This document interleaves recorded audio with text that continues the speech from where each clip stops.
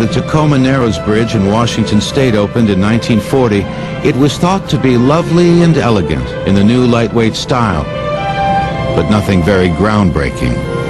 It was a wonderful bridge just to look at. It was beautiful.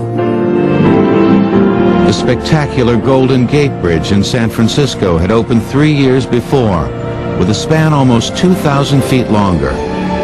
On the other coast, New York's George Washington Bridge, built in 1933, was 700 feet longer. But the Tacoma Narrows Bridge would make a lasting name for itself. Within days of its opening, it began to sway like a hammock in the breeze. Pretty soon, it was the most famous bridge in America. We learned that about the, the bridge that when the wind was up, it would become galloping Gertie, move up and down. And when the wind was really bad, we used to ride our bikes out there, park on a hill beside the bridge and watch it go up and down just for a lark. They let people go when the dropping was so sudden that it felt like an old-fashioned elevator. Boom, like that.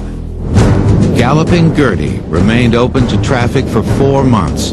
But in November, everybody was ordered off as a 40 mile an hour gale whipped across her deck, lifting the roadway like a sail. We went out to, to watch it whip, and it was really whipping, and there was one car on it. But then it got late, and so we left. By afternoon, the stresses were too much. Incredibly, the 11,000-ton center span ripped away and crashed into the sea.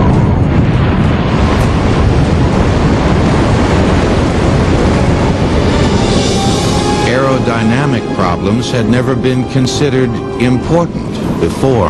Every bridge ever designed, even the smallest um, arch over a stream, has some aerodynamic lift associated with that span, some aerodynamic characteristics.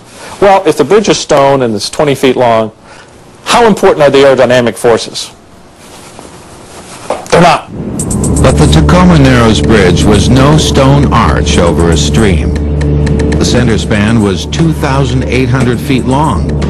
Ironically, the major factor in the spectacular collapse was that bridge designers were getting better. Bridges were now longer, thinner, and lighter. As that trend continued, inevitably, the secondary effect of aerodynamics on a bridge one day became a primary effect. The aerodynamics are always there, but as you get longer and longer and longer, there's just more profile. And your bridge is getting less proportionately stiff to length as you're getting longer and longer spans. And all of a sudden, a second order force becomes a first order force.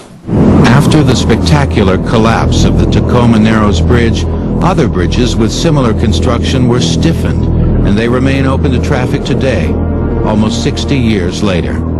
The Tacoma Narrows Bridge disaster forced engineers from then on to take aerodynamics into consideration when designing bridges.